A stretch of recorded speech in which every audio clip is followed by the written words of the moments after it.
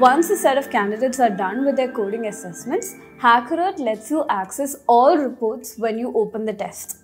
The platform ranks all candidates automatically on the basis of their score on the test so you can shortlist top performers in just seconds. HackerEarth also makes it much easier to filter candidates on various parameters. One of these parameters is the finish date, which lets you filter candidates who have completed the test within a certain date or time range. You can also filter candidates based on their score. So, in case you have established a cutoff score, you can easily shortlist the candidates who have a score higher than the cutoff.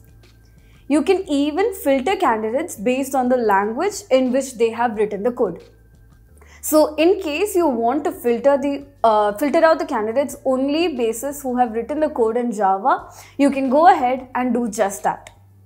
Finally, HackerEarth also lets you set up a filter to identify candidates who have done really well in a particular section of the test. In this example, let's consider that we want to filter candidates who have scored over 75% in the data structure section over 75% in the programming section and over 50% in the multiple choice section. Essentially, you're filtering out the cream of the crop and HackerEarth lets you do just that in a few clicks. Now that the filters are applied, you can either shortlist a particular candidate or archive the candidate. Once you shortlist a particular candidate, they would be available under the shortlisted set here. In case you do not want to shortlist or reject a candidate, you can archive the candidate and their reports would be available on the archive. In case you haven't archived or shortlisted a candidate, they will be listed under review pending. And the invited tab is essentially a list of the candidates you've invited to take part for that particular assessment. So that's a little bit on the overall dashboard. Now let's talk about the report dashboard. This dashboard can extend the time offered to a candidate, reset a test or download the entire report of all the candidates who have taken up the test. Extending time comes into play when there are genuine cases where candidates could not complete the test. This could be due to a number of reasons such as network failures or power issues or even cases where a candidate reaches out to you. It is of course to your discretion whether you want to extend the time offered to a candidate or not. But if you do want to extend, you can go ahead and do that for a particular candidate from here. In such cases, all the work the candidates have done is automatically saved and the candidates can log back in and continue attempting the rest of the test once their issue is resolved. Time can be extended for a particular candidate or for a segment of your choosing. The other option is to reset a test. Let's say a few minutes after the test is completed, you spot there's some sort of issue because of which it doesn't make sense to simply extend the duration of the test. In such cases, you can reset the test. In this situation, all the candidates' answers would be removed and they'll have to take up the test again from scratch. Just as it is with extending the duration. You can reset the test for a specific set of candidates.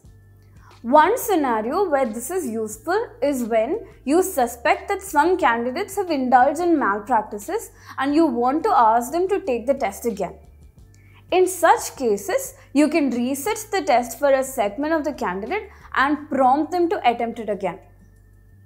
Further, in cases where you suspect malpractice, you can download a report of all the candidates. This report is in the form of an Excel sheet and contains all the necessary information such as start and end dates, test duration, individual questions and so on. The report also records events where a candidate violates proctoring rules set by you at the time of test creation. HackerEarth also lets you generate a plagiarism report for a particular candidate. The plagiarism report will also give you a clear comparison between the code submitted by that particular candidate and the code written by other candidates who are part of the same test. It also compares the candidate's code with any pieces of code found across the internet.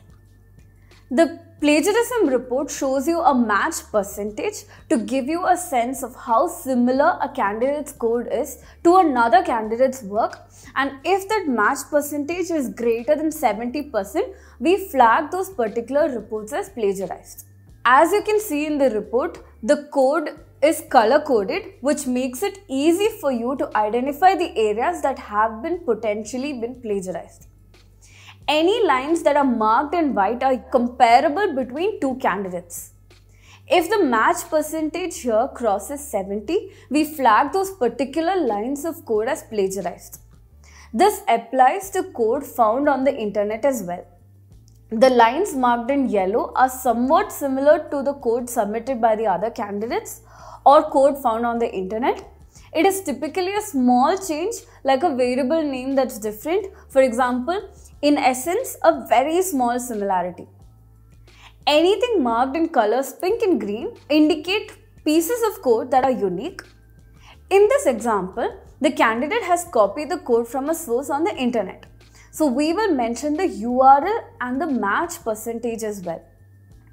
Now, apart from the plagiarism report, we also offer individual candidate reports which are very extensive and comprehensive which we cover the total score, rank and the attempted questions.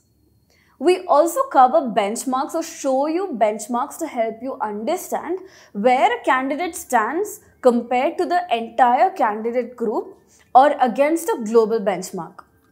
So if there are similarly defined tests that have similar skills and difficulty levels, HackerEarth ensures that you get an understanding of a candidate's skill level. Further, we offer a skill-wise performance chart.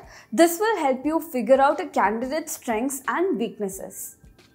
This is particularly useful because quite often candidates claim that they're skilled in a topic, but once you actually have a con conversation with them, you realize that they don't really have the skills they claim to possess on their resumes. The skill-wise performance chart also helps map a candidate's skill Essentially, you get a sense for which skills a candidate needs to improve on and use it as a benchmark for whether the candidate has actually gotten better at a particular skill over time. Now, apart from that, you have key observation section. This part of the report gives you an overview of any violations of proctoring rules such as tab switching or impersonation. In this case, as you can see, there are multiple candidates and the details you have asked the candidates to fill will be captured here. Further down, you have a detailed question by question report which lets you see how much a candidate has scored on each question. An additional feature we provide is the code quality score.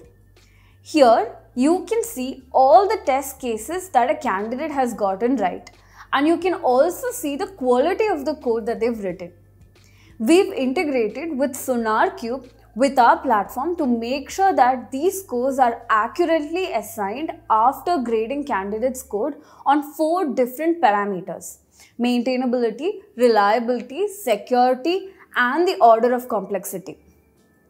We also offer a code player which will replay how a candidate went about writing their code so that we can identify the approach that a candidate has taken.